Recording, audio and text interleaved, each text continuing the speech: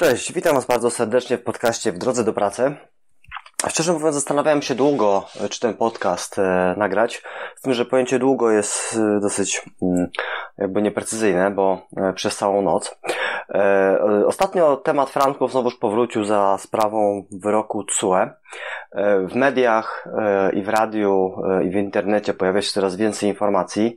Banki wpadły w jakiś tam trochę szału. Są informacje, że będą robiły to, coś tam innego. Przestrzegają też przed kancelarami prawnymi, które się na tym kompletnie e, nie znają. No i chciałem się z Wami podzielić tymi e, doświadczeniami. E, natknął mi na to wczoraj nowo poznany znajomy. Dostałem kontakt od swojego przyjaciela Bartka. Bartek mówi, Adam spotka się z Andrzejem, to mądry facet. Chce rozpoczynać biznes konsultingowy. Ty jesteś świetnym, świetną osobą, która może mu w tym pomóc, może się jakoś tam dogadacie. Umówiłem się na spotkanie. E, pojechałem na spotkanie z Andrzejem. E, taki bardzo fajny facet, bardzo wierzący e, i to mnie skłoniło, szczerze mówiąc, do tego, żeby się podzielić z wami tym moimi przemyśleniami, bo trzeba głosić dobre słowo, trzeba głosić tą Ewangelię, żeby, żeby, żebyście po prostu nie popełniali błędów, żebyście wiedzieli, jak ten świat jest skonstruowany, że na każdym kroku czekają na nas pułapki, a w szczególności szczególności mówię tutaj o na nas jako na e, frankowiczach. Ja mam kredyt we frankach e, i kilkukrotnie już się przymierzałem do tego, żeby z tymi frankami pójść do sądu. E, miałem sprawę, e, konsultowałem sprawę z dwoma kancelariami, no ale chcieli jakieś tam 10-12 tysięcy na początek, żeby się w ogóle tą sprawą zająć, ale nie byli w stanie mi powiedzieć, ile mogą dla mnie e, odzyskać. Ja nie mam tego kredytu jakoś tam strasznie dużo, wziąłem go na część mieszkania, więc mm, większość e, miałem w gotówce. Natomiast sytuacja jest teraz taka, że to mieszkanie jest niesprzedawalne, bo jakbym je sprzedał, to bym został z niczym, więc musiałbym coś wynająć, więc finansowo byłbym tak samo. Szukałem na rynku, szukałem, no i w końcu znalazłem znajomego, który pracuje w firmie Votum E, tą firmę znam od dłuższego czasu, bo kiedyś zajmowali się odzyskiwaniem odszkodowań za wypadki śmiertelne i wtedy ich akcje bardzo mocno poszły do góry. E, jakiś czas temu mocno spadły i zastanawiałem się, czy jak wejdę w, tem w temat kredytów frankowych, to te akcje e, podrożeją. A że znajomy był tam gdzieś tam blisko tego tematu, no to zacząłem z nim rozmawiać. Mieszkamy obok siebie niemalże, więc no jakby tak, może nie z polecenia, ale znałem Znałem gościa bezpośrednio, więc stwierdziłem, dobra, rozmawiajmy na ten temat. E, było to jakieś dwa lata temu, tak jak dobrze pamiętam, i wtedy były trochę inne warunki w, w tym temacie. E, mówię w tym kontekście, że nie trzeba było wpłacać jakiejś opłaty wstępnej, tylko można się było podzielić y, zyskiem y, z tej transakcji, czyli tak zwane success fee. No, moja sprawa jest w sądzie, zobaczymy jak będzie teraz ten wyrok TSUE y, te sprawy przyspieszy. Moja sprawa się toczy w ten sposób, że bank się opiera argumentom sądu, czy, czy prawników, wzywa na świadka gościa, którym ten kredyt udzielił. On oczywiście nie mieszka w Polsce, jest, jest w internecie, można z nim normalnie rozmawiać przez Facebooka, to nie, kompletnie nie ma pojęcia, że taka sprawa w ogóle się toczy i że sąd go wzywa na e, rozprawę. Zakładam, że ta sprawa w tym roku się skończy. Ile dostanę, to nie wiem. Na pewno się z Wami podzielę tym, czy było warto, czy, czy, czy nie było. E, nie, nie powiem Wam e, ile, no bo to jakby nie o to e, chodzi. No ale teraz, teraz chciałem jakby mm, do konsensusu, do, może nie do konsensusu, tylko do jakby do, do, do meritum sprawy dojść. Czemu w ogóle nagrywam ten podcast?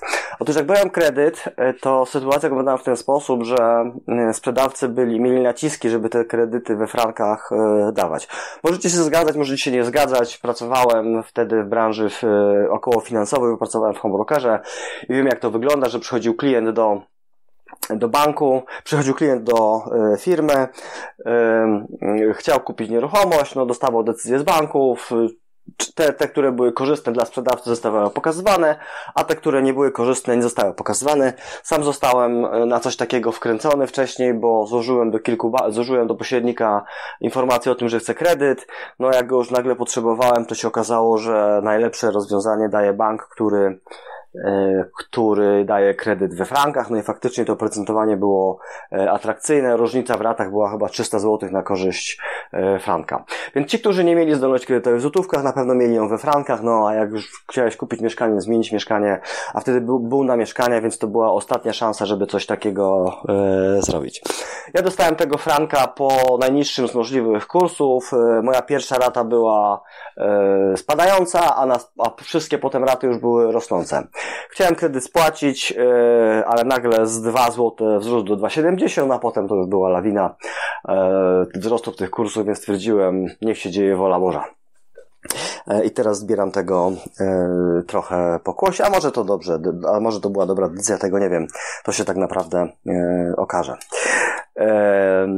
Więc teraz, y, dzisiaj nawet rano słyszałem w radiu, y, w radiu przestrzegali przed kancelariami, które nie mają bladego pojęcia o frankach, y, o odszkodowaniach za te kredyty frankowe i żeby uważać, z kim się idzie, do kogo się idzie, żeby sprawdzić, czy ten prawnik ma doświadczenie, czy nie ma doświadczenia, jak to w ogóle wygląda. No jest to w miarę naturalne, ale faktycznie w internecie pojawiło się miliardy kancelarii, które teraz się tym zajmują, oferując lepsze lub gorsze warunki i każdy mówi, że się na pewno uda. Otóż nie wiadomo, czy się uda.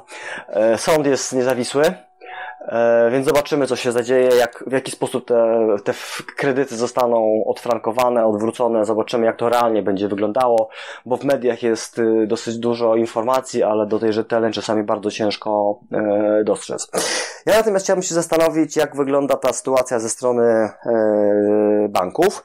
No bo e, banki to są duże domy, w których ludzie zarabiają pieniądze i zarabiają, że te pieniądze pożyczają i że tymi pieniędzmi się e, obraca. Czym się banki różnią od chwilówek? no tym, że trzeba mieć duże zabezpieczenie yy, i dostajesz na mniejszy procent, chwilówkę dostajesz na wysoki procent, ale nie musisz mieć zabezpieczenia. Natomiast do banki dały te kredyty frankowe i teraz coś z nimi trzeba zrobić. Yy, nie wiem, czy ta operacja była przygotowywana, czy nie. O wyroku CUE się mówiło dziesiątki, dziesiątki tygodni i tych spraw w banku było coraz więcej i coraz było bardziej gorąco. No i tak się chciałem zastanowić, czy w jaki sposób doradcy będą naciskani przez centrale banków, żeby coś z tymi kredytami robili, czy że będą e, odwozili klientów od takich rzeczy, czy jak pójdziecie do banku i będziecie chcieli coś z tym kredytem zrobić, to nie powstaną takie zapisy, które uniemożliwią wam e, dalszą drogę e, do odszkodowania, bo coś żeście podpisali. I pewnie tak będzie. Nie mam danych bezpośrednio od sprzedawców, a nawet jeżeli mam, to nie mogę powiedzieć od kogo, no bo to bym sobie spalił jakiś tam kątach, ale e, kiedyś mówiłem o efekcie czarnego łabędzia, który mówi o tym, że coś jest, e, że ktoś coś wie, a ktoś czegoś nie wie, no i potem nagle odkrywamy Amerykę, że to się dzieje. E, no i e, zobaczcie na to w ten sposób, że jeżeli macie ubezpieczenie, to bardzo często łącznie z wypłatą odszkodowania czy ubezpieczenia idzie informacja taka, że zrzekacie się wszystkich roszczeń dalej do tego ubezpieczenia. Czy jak podpiszecie już, że ta kwota jest z ubezpieczenia ok, no to już nie będziecie nic z tym dalej robili. Więc takie zapisy w bankach się mogą pojawić. I chciałbym Was prosić, żebyście zwracali na to uwagę, jak pójdziecie do banku robić cokolwiek ze swoim e, kredytem.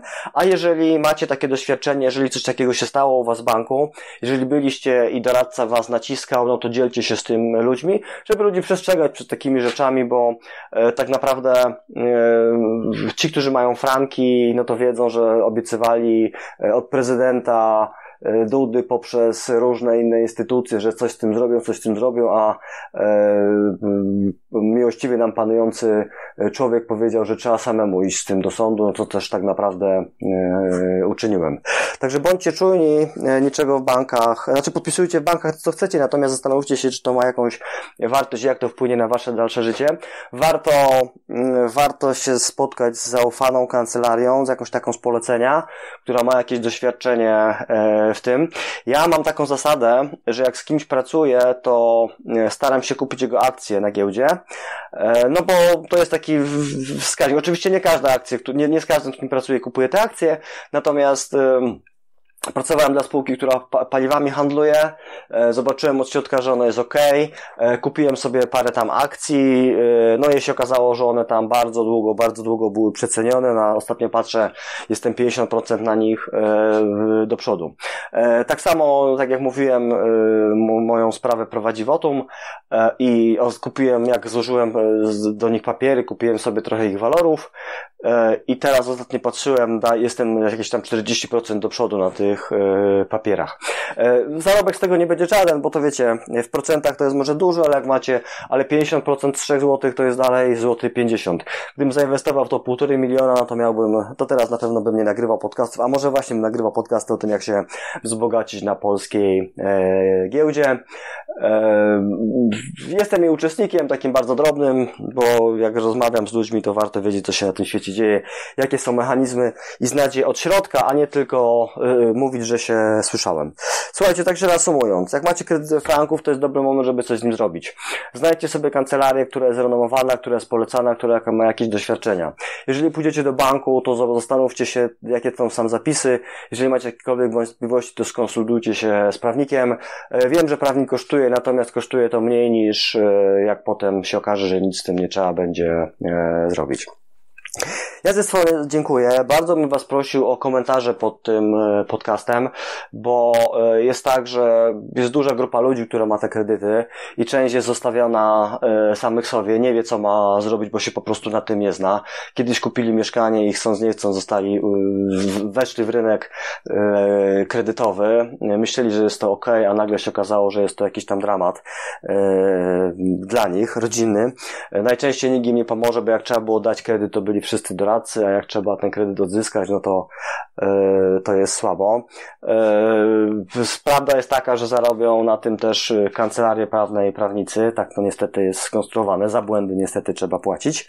E, natomiast to nie jest tak, że musicie z, z tym trwać do końca. Trzeba cokolwiek zrobić, żeby się zorientować, czy ma szansę, czy nie ma szansy, dlatego róbcie to z dobrym partnerem, ze sprawdzonym partnerem, tak żebyście mieli to poczucie takie, że zrobiliście wszystko, że się z tego w jakiś sposób wyjść z twarzą czy wyplątać. Ja ze strony strony Wam dziękuję. Jeżeli macie jakieś doświadczenie, macie jakieś opinie, chcecie się czymś podzielić, piszcie, dzwońcie, mailujcie, komentujcie. Dzięki wielkie, Adam Moszyński z tej strony. Do usłyszenia, do zobaczenia. Cześć!